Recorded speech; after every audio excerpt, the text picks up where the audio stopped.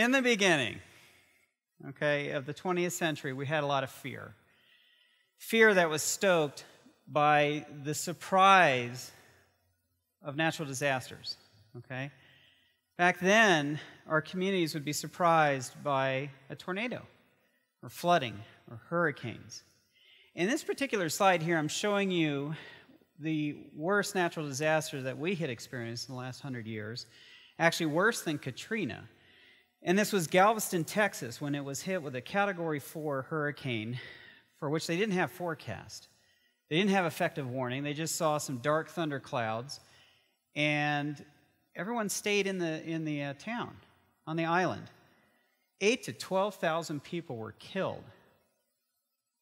And if you think about that, there were so many dead bodies that they had to put them on those carts, roll them out to a barge, and dump them into the sea. It was a catastrophe. And you say to yourself, how the heck could that have happened? Why did it happen? Well, we just didn't simply have the discipline or the technology to anticipate these events. And we really take that for granted today. So, this is the formation of a tornado. We take it for granted that we have a radar system. Okay, we just turn on the TV. We can go to our mobile phones. We can see this literally anywhere. Look at this. This is the formation of a hurricane. Okay? We have come to expect as a society that we will be given forewarning, that we will be able to take that into account in our daily lives to protect our family, to protect our friends, protect our property. Right? You expect to get a warning if we have a tornado in this city, for instance. Okay? But what we've seen here in the last, um, oh, I'd say about 25 years, is we've been hit with a number of surprises in infectious disease that are remarkably similar to what we saw in the early 20th century. We keep getting surprised. Ebola was the most recent surprise, a rather ugly surprise that I was involved with um, on our end, where we were asking really uncomfortable questions such as is this virus, which is spreading at an absolutely unprecedented rate in West Africa, did this thing mutate? Now, I've worked these issues for years, about 20 years, in fact. Um, I led the team that provided warning of the swine flu in 2009. Led a team that went into Haiti and tagged the UN as the source of the cholera disaster. These were scary events. These were events with uncertainty, Okay? And it's always easy to go back and say, oh, well, these weren't such a big deal after all. SARS was overblown, MERS overblown. But at the time, there is tremendous uncertainty. And if you really think about it, fear, the foundation of fear and anxiety, and all the stock market shifts we see around these events, and all the insurance policies that are invoked around these events, and all the industry that's threatened, all the social sense of well being threatened the foundation of all this fear is uncertainty. But I say, eh, I think we can fix this. So, in the beginning, in the late 90s, we began using satellite imagery to try to forecast Ebola. We did not have a statistically significant sample size. It was a gut instinct, and we were sitting there in the rainforest drinking stale beer and trying to figure out where the heck did this virus come from. We had monkeys crawling around all over the all over the canopy above us, and Ebola had been in that area. In fact, it was within a stone's throw of the Liberian border. It was a prelude to what we would later see.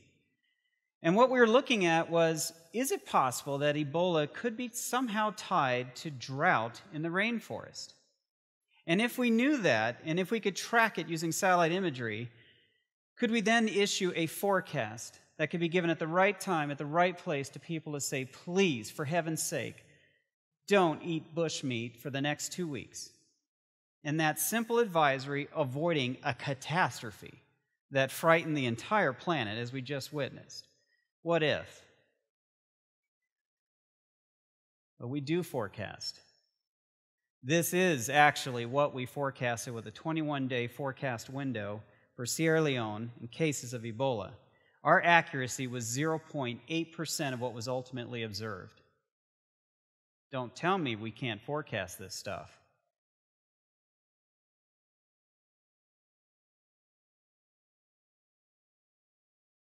So, the secret here that is being revealed is that we actually do have a National Infectious Disease Forecast Center. Is what I was invited to this state to bring the operational footprint of. We do have a National Weather Service for infectious disease. We've actually had it for quite some time. Regrettably, it's taken us some time to go fully public with it. But what you're seeing right here are the actual advisories. Actual advisories for salmonella, a disease that produces oh, about a million cases a year, 19,000 hospitalizations, and about 380 fatalities every year. Not as bad as influenza, necessarily, but it dominates the media, right? So, right now, we've seen reports of cucumbers being a threat, right? We've had a few fatalities related to that, okay? We just witnessed a CEO of the Peanut Corporation of America get an unprecedented prison sentence of 28 years for his role in a salmonella outbreak in the mid 2000s that killed some folks. So, this is a pretty important pathogen. And all of industry has been sent a warning from the federal government that basically enough is enough. We need to get ahead of these problems somehow. Partly cloudy skies with a chance of diarrhea. but look at this map hot spots, just like a weather map. I'm telling you a forecast. So we just moved in that figure from the colorized portion of the last two months into the black and white, which is the plus two months. That was an actual forecast that was validated, or is validating, I should say. So the question here is, is if I gave you your forecast, would that change anything, one iota of your behavior? I'm counting on a yes to that. If you think about meteorology, everybody uses weather data in their daily lives to different effect.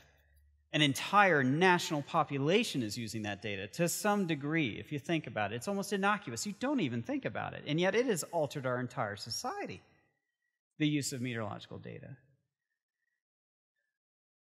Guess what, folks? There's another bit of data that's about to change our lives. Welcome to your National Infectious Disease Forecast Center. Partly cloudy skies with a chance of chickenpox. Woohoo! There goes forecast mode here in black and white. With a chance of an ulcer, syphilis. Notice that the uh, southeast of the U.S. is a problem area. No one from the south, I hope. Streptococcus, bacterial pneumonia, in other words. Rabies in animals.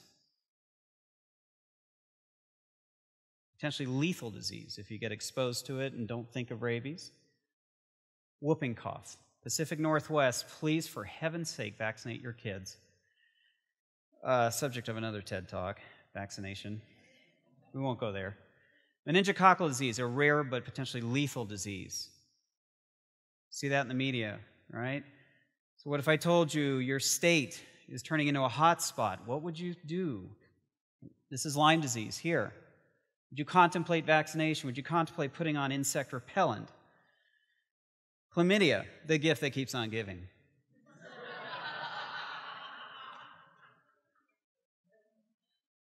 well, doing what I do, I have to come up with jokes because it's quite depressing, actually, at times. So we say, fine, I start to release these forecasts for literally any disease you can imagine now. What would you do differently? Would you think twice about eating that raw cookie dough? I got to tell you, that's a problem for me because I, I'm not to lie. I love chocolate. It's sad. Would you think twice about letting your child play with that stray cat if we give you a forecast for rabies? Would you think twice about your stance on vaccination? Compelling questions, huh? Let's keep going. Let me give you the world Japan, Taiwan, Singapore. These are real forecasts. South Korea, Hong Kong, Germany, France, England, Australia, Brazil, These were all different diseases. Everything from tick borne encephalitis to scrub typhus to cholera to tuberculosis to AIDS. You don't believe me? That is the forecast right now standing for Japan and their diagnoses for AIDS. And yes, we can forecast those diagnoses. It's heady stuff to think about what would you do with this kind of information. How about drug resistance? This is drug resistant Enterobacter for Japan. We forecast this down to the prefecture level. In fact, we have forecasts for 70 diseases down to the prefecture level. Japan, if you are listening, I will tell you, you have a National Forecast Center. I apologize for the late notice.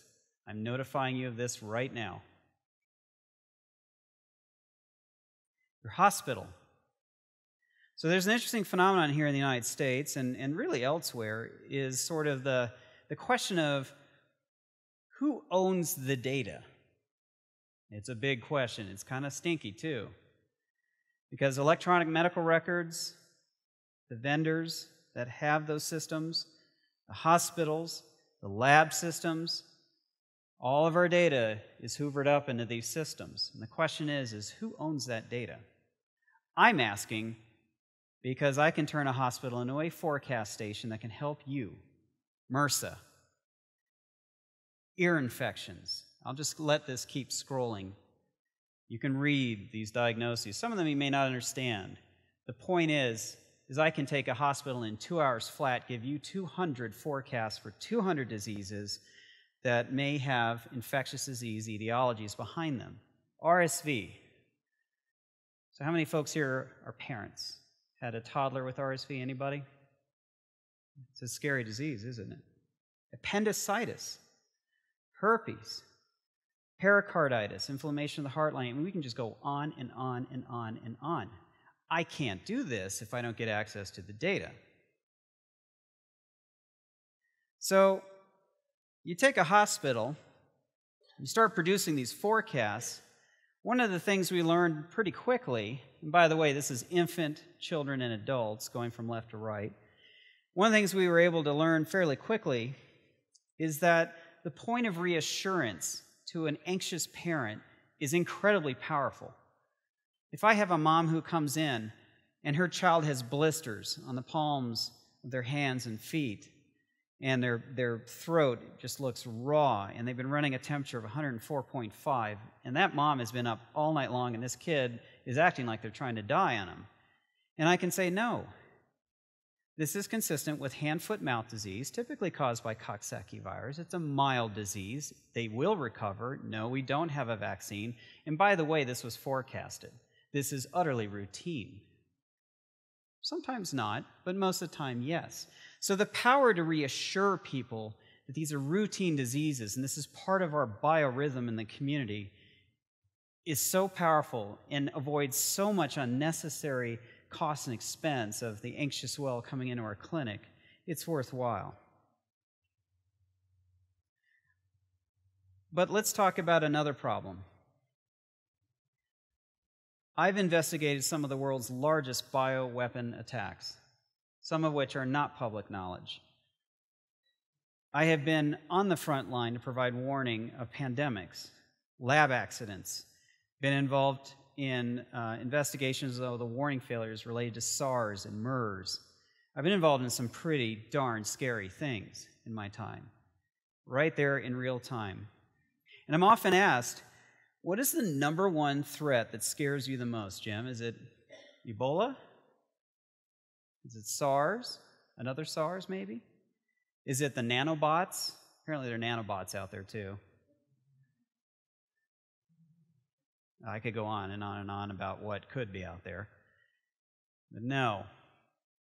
This is actually a display of data right here under our very feet in this county. One of the hospitals who courageously, I should say, gave us access to their antibiograms. What are antibiograms, you say? Well, this is the profile of drug resistance in that facility. They courageously gave it to us so that we could produce forecasts. And these forecasts can then tell us where are we headed with our drug resistance problem in this county? This is E. coli, the number one cause of urinary tract infections. We go through $8 billion every six years in this state alone, hospitalizing folks due to urinary tract infections. This is the number one drug prescribed for UTIs, urinary tract infections, in the emergency department at this facility. It is known as Cipro. We lost the ability to use Cipro in 2005. So I ask the audience, what in heaven's name are we doing continuing to prescribe this? The answer is simple. If you do not measure it, how can you manage it? This is the only system in the world. It's based here in Reno. It's cloud based, fully automated, and it can take a hospital and forecast its drug resistance profile in 32 seconds flat. So, what would you do with a forecast? It's a question. And I can guarantee you that the answer that comes from that question is different if I'm talking to a physician, hospital administrator, a school nurse, a mom, a dad, an airline pilot, a stewardess. If you really go far outward in your thought process and think of how many different ways this could begin to influence behavior, you can't get your head around it. I've been doing this 20 years, I still haven't got my head around it. It's Delta Flight 191. Those of us who are a little bit older remember that day in 1985 when a full aircraft was inbound at DFW Airport in Dallas. The pilots ignored a forecast calling for a severe thunderstorm. They decided to fly through it on their approach they hit a microburst, and the microburst pancaked the aircraft into the ground ahead of the tarmac, killing most of the people on board. Millions of dollars in lawsuit. The courts found that Delta Airlines was responsible because the pilots had access to a forecast and chose to ignore it. It changed the airline industry that day the thought that we could actually forecast microbursts from now on. You have just heard a talk announcing to the entire world we now have operational forecasts for infectious disease. There are no more excuses. We can get ahead of drug resistance. We can get ahead of these outbreaks. We can get ahead of these epidemics. And we can dispel the fear once and for all. Thank you.